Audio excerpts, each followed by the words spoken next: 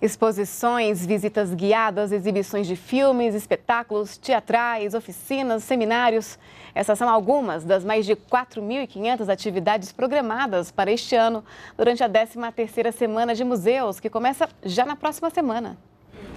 A iniciativa é do Instituto Brasileiro de Museus. As atividades integram as comemorações de 18 de maio, Dia Internacional de Museus. O Brasil integra uma discussão global que este ano será sobre o tema Museus para uma Sociedade Sustentável.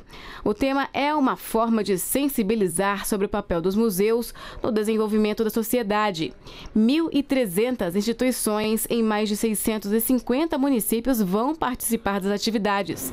A ideia é estimular que mais pessoas frequentem museus. A gente tem visto pela experiência que o registro de visitação aos museus brasileiros tem crescido bastante na ocasião da Semana de Museus e chega, alguns museus chegam a dobrar a sua visitação. Então, os museus também são estimulados durante essa semana e na comemoração do Dia Internacional de Museus a, a criar ações, iniciativas de, eh, para atração do público e para convidar o público a se juntar a essa discussão. A Semana de Museus vai de 18 a 24 de maio.